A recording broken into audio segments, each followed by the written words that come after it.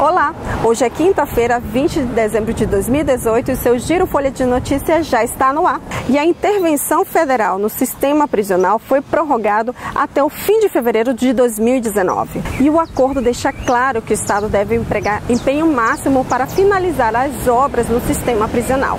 E os servidores estaduais que não conseguiram realizar a prova de vida podem realizá-lo até hoje na sua secretaria de origem. Segundo o governo, 95% dos 21 mil servidores já se apresentaram. E teve início na última sexta-feira a Operação Rodovia, realizada pela Polícia Rodoviária Federal.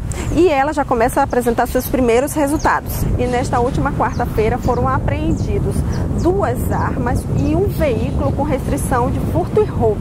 Segundo a PRF, todos os casos e os suspeitos foram encaminhados para o 5 Distrito Policial. E estes foram os nossos destaques desta quinta-feira. Para saber mais informações, acesse nosso site www.folhabv.com.br ou nossas redes sociais. Te espero lá!